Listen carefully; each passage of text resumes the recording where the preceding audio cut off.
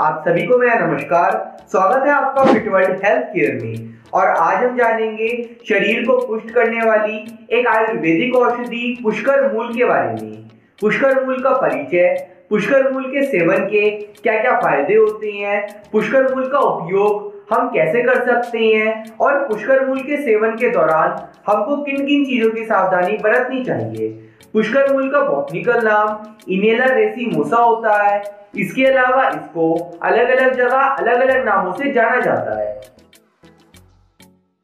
पुष्कर मूल कश्मीर तथा उत्तर पश्चिम हिमालय में 5000 से 14000 फीट की ऊंचाई पर पाई जाती है। यह भारत में जहाँ जहाँ सुगंधित कूट पाया जाता है। वहाँ वहाँ उत्पन्न होती है। इसके अलावा यह दिखने में और गुणधर्म में भी कूट के समान ही होती है।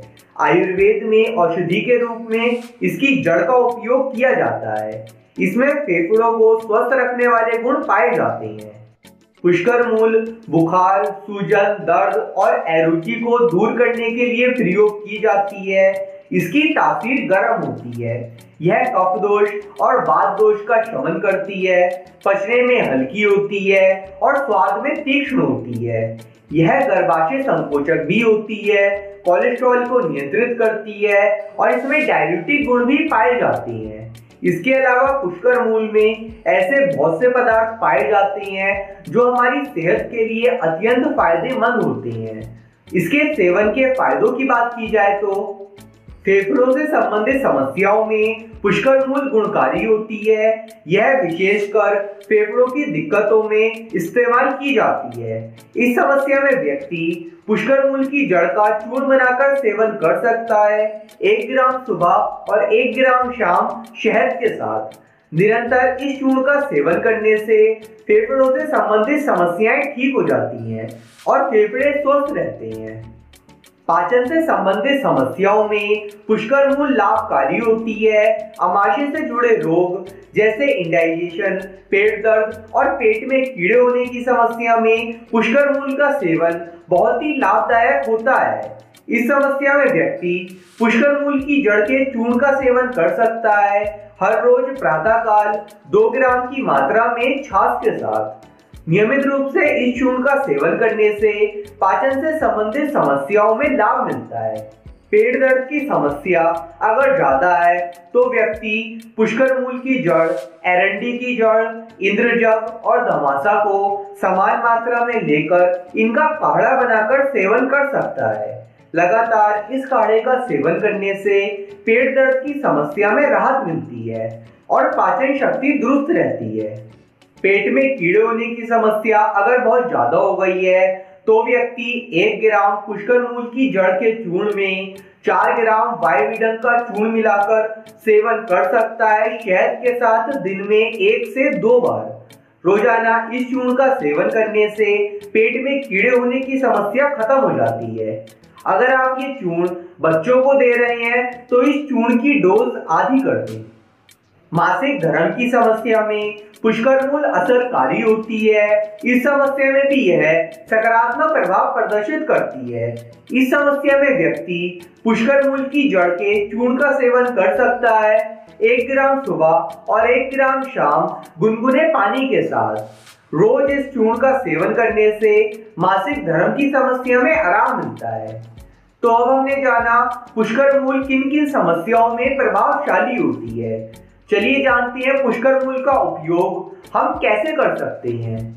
पुष्कर मूल का नेचुरली उपयोग आप इसका काढ़ा बनाकर कर सकते हैं। पुष्कर मूल का काढ़ा बनाने के लिए एक व्यक्ति के लिए 200 सौ पानी लें और उसमें 5 ग्राम पुष्कर मूल की जड़ डालें और इसको अच्छे से पकाएँ। इसको तब तक पकाना है जब तक जितना आपने पानी लिया है, वह आधा ना रह जाए। उसके बाद आप इसको छान कर, थोड़ा ठंडा कर कर इसका सेवन कर सकते हैं। इसके अलावा चूर्ण बनाकर भी पुष्कर मूल का सेवन किया जाता है। चूर्ण बनाने के लिए सबसे पहले आप पुष्कर मूल की जड़ ले आए। अगर आपको ताजी जड़ मिल जाए तो अच्छा है, वरना पंसारी की दुकान, यानी आयुर्वेदिक स्टोर और ऑनलाइन भी पुष्कर मूल की जड़ मिल जाती है। आप वहाँ से भी खरीद सकते हैं। उसके बाद आप इस जड़ को अच्छे से धोकर सुखा लें।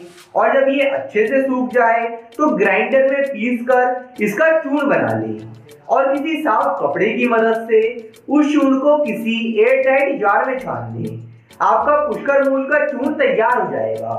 फिर आप इसका सेवन कर सकते हैं। प्रतिदिन दो ग्राम की मात्रा में, यानी लगभग आधी टी स्पून ताजे पानी के साथ।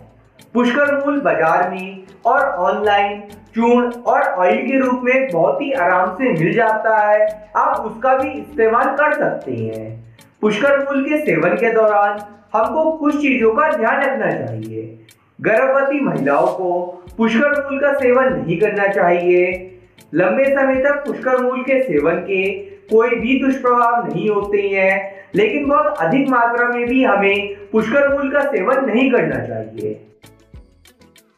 दोस्तों, अगर आप अच्छी क्वालिटी के हर्बल प्रोडक्ट्स रीजनल प्राइस में चाहते हैं तो आप डिस्क्रिप्शन में दिए हुए लिंक पर क्लिक कर कर परचेज कर सकते हैं।